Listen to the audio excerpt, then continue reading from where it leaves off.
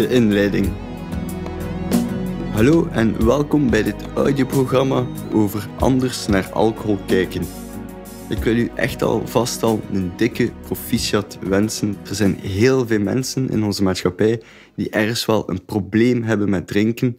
En jij bent iemand die er iets wil aan doen. Dus alvast al proficiat ervoor.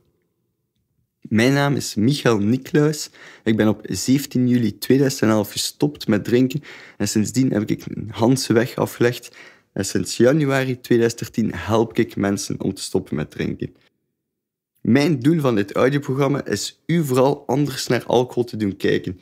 Ik heb zelf ontzettend veel geleerd rond alcohol en wij weten heel weinig rond alcohol en ik wil u zoveel mogelijk dingen meegeven in dit audioprogramma.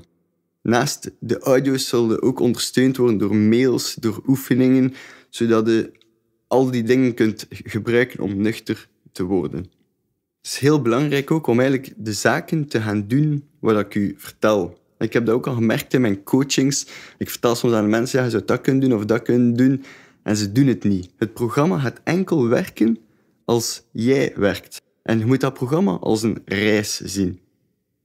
Het gaat misschien raar klinken, maar terwijl je het audioprogramma hier beluistert, mogen je eigenlijk wel gewoon nog verder drinken. Natuurlijk, als je gestopt bent met drinken, dan moet je natuurlijk niet, niet er beginnen. Maar ik ga niet zeggen aan u van kijk, je moet onmiddellijk stoppen met drinken of je moet dat of je moet dat. Ik ga je vooral heel veel inzichten meegeven. Je gaat ook merken dat ik vrij extreem ga zijn in alles wat ik zeg. En waarom is dat? Is omdat ik jullie vooral wil doen nadenken rond alcohol. Want alcoholprobleem, dat komt echt overal voor. Het eerste dat je al mocht aanschaffen is eigenlijk een dagboek. Dus dat is eigenlijk uw eerste opdracht. En waarom moet je een dagboek aanschaffen? Omdat wij heel veel opdrachten samen gaan maken. En koop een dagboek en vult daar van bovenin de dag van vandaag. En al de opdrachten dat we gaan maken, kun je in dat dagboek schrijven. Je kunt ook een, eh, een schoendoos pakken bijvoorbeeld, steek die een dagboek daarin. En we gaan van die schoendoos bijvoorbeeld een nuchterheidsbox maken. En steek daar ook een foto in van de laatste keer dat je enorm dronken zijn geweest. En steek daar wat foto's in van mensen dat je enorm graag ziet. En dus ook uw dagboek.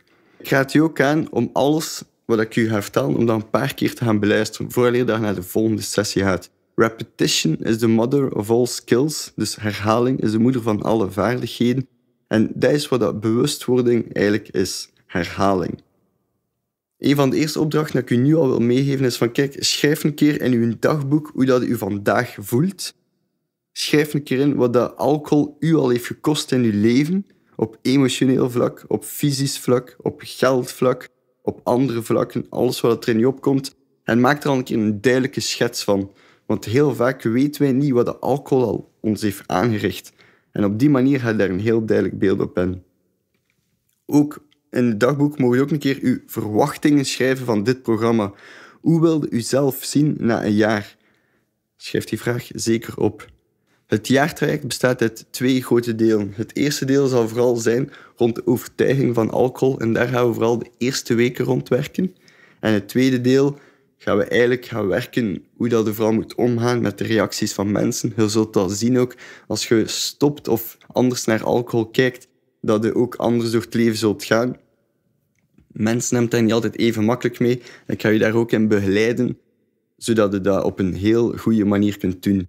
Daarom dat ik ook echt een jaartraject gemaakt heb. Omdat bij mij zijn er al heel veel mensen geweest. En ze komen één keer bij mij, ze komen twee keer bij mij. Ze worden nuchterder, ze kijken anders naar alcohol. Het gaat goed met Maar dan na twee, drie, vier maanden zie je dat dat afzwakt. Vandaar dat ik u echt een heel jaar wil begeleiden. Omdat ik weet dat na een jaar dat ik het meeste succes ga hebben. Dat jij anders naar alcohol kijkt. Dit was eigenlijk het einde van het eerste hoofdstuk en nu gaan we over naar het tweede hoofdstuk. Hoe ga ik jou helpen?